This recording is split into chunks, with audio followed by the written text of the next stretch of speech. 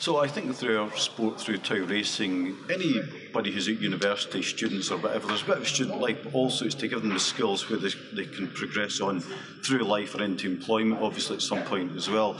And I think through sponsoring something like Tau Racing, it gives them the overall skill set, engineering skill sets, but also a bit of finance, project management, all these other skill sets that's going to help them, and a bit of team building skills as well, of course. That'll give them the behaviours and skills to progress through life and through into employment as well. I think it really gives the, the students a chance to experience a, a real life project, a, kind of as close to a, a real business as you're going to get. In fact, maybe too real in some ways. Um, and what really impresses me about the the kind of project and the students as well is that you kind of forget that you have to uh, do a course as well as as this project, which is really impressive. They also, as I already said, they develop uh, team working skills.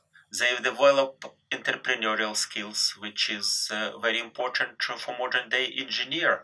Uh, they uh, learn how to raise money for their projects.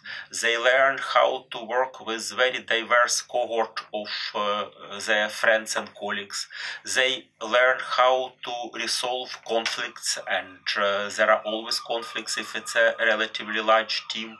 They also learn how to liaise with other parts of the university, how to liaise with other parts of the school how to find a place for their project in the relatively small labs, how to run it well that they can coexist with other projects, with other teams, and they learn sooner than other students how to liaise with uh, outside world they liaise with their sponsors, they liaise with the media, they organize everything, including this interview actually.